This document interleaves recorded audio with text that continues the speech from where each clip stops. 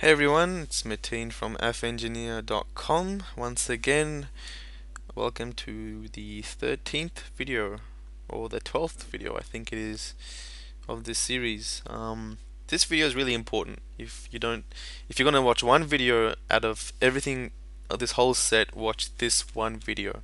I might highlight it in the on the page, but this is the secret source to Facebook advertising last the video I did just before this went through bad targeting what you shouldn't do when you're selecting interests in Facebook. Uh, this applies not only to Teespring campaigns but pretty much anything you're doing Facebook related. Um, I'm not going to go through it again. I'm going to assume you watched the video before. If you haven't go watch it and then come to this video. But this one's this video is going to cover good targeting so what you should be doing. So again I'll be using the same example. So if we're targeting German Shepherds German Shepherd lovers. What did we do last time? We went German Shepherd. We got 1.5 million to 2 million monthly active people. That's a lot. Very untargeted way of targeting. We don't want to do that. What we want to do is we want to target let's we want to target websites, so German Shepherd websites. We want to target German Shepherd forums, uh, magazines, associations, clubs, uh, rescue groups, rescue groups, newsletters, uh, events, all these kind of things that people that actually have German Shepherds would be a part of.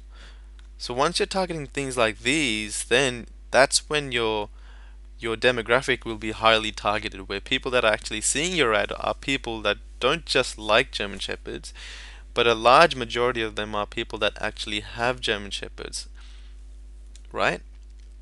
So to do that um, all you do is just go to Google and you go German Shepherd forum. And there you go. Germanshepherds.com so that's a forum there. And I'd put that in here. German Shepherd. No can't put it so I wouldn't use that forum. Let's find another one.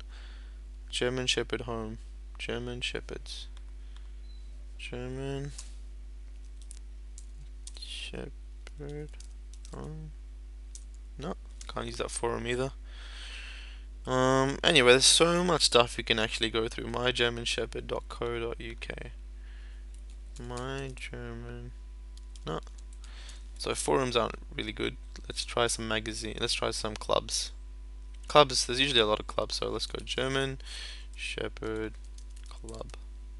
Boom. See? I'd rather that. Now, what you want to do is you want to add like 20 to 30 of these so that slowly, slowly your audience grows to the point where there's a lot of them. They're in the hundreds of thousands, but there's so much more targeted than 1.5 million to 2 million. Right? So what you've basically done is selected the set of people within that German Shepherd demographic that actually have a German Shepherd. You're going to get a way better CTR on these kind of shirts um, than you would if you were to just go to German Shepherd. So let's just keep going. German Shepherd tips. So people that like German Shepherds and have one, they're probably going to be going to, they're probably, they'll definitely be liking tips. German Shepherd, uh, spell that wrong, German, sure, my internet just cut out. German Shepherd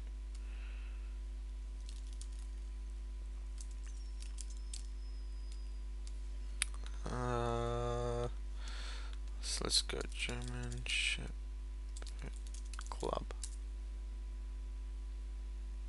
Club list.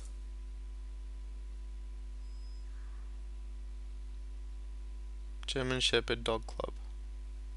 Events. Club list.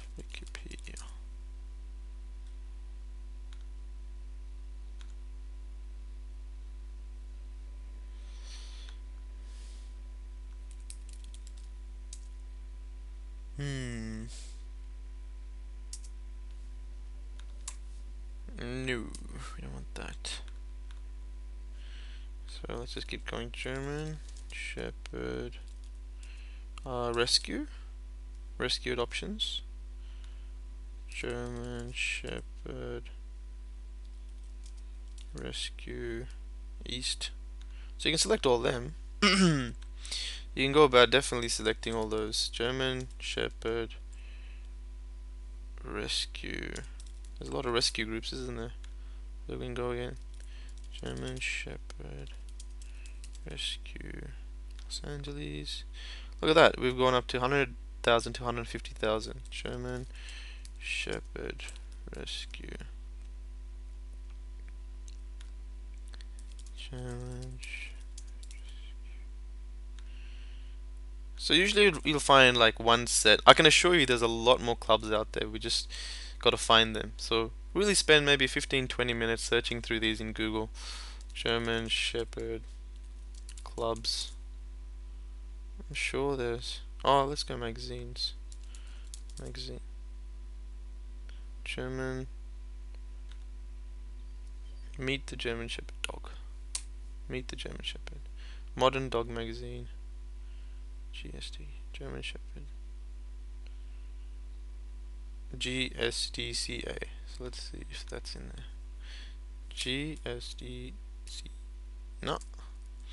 But sometimes you will find they're maybe not popular, but there's some niches where there's a lot of websites you can select. There's a lot of magazines, a lot of newspapers, especially if you're doing something international. You would want you'll find a lot of newspapers, um, a lot of association, a lot of clubs. Anyway, so that's the base. This is how you should be targeting. Um, if you're this kind of system or rules apply. If you want, save this list. You can add another five to ten different keywords here which you can look for but anything got to do with if you can think of something that people that are so passionate about this interest that they're going to regularly check up on um, are going to be part of, then that's what you should be adding as an interest, not just German Shepherd. So this is something I would actually make an ad for this um, and a shirt, and I would actually start marketing to this demographic. Um, but a really cool thing that came out just recently is a tool that just searches Google for you or Facebook for you and, and instead of you going through Google and spending 15 20 sometimes an hour which I used to spend uh, searching for all of these um, it'll search that for you. It's a tool called T what's it called? T inspector um, T inspector targeting I think it's called. I'm not sure. I just bought it like two days ago. It's really really awesome I'll go through it in the next video for those that want to want to kind of fast track this process. It's $97 or something like that. Um, not sure if it's out for sale. I've got it. I bought it because there was only 500 in that initial promotional launch. I don't know if when they're going to make it again, but it's definitely an awesome tool for Facebook marketers.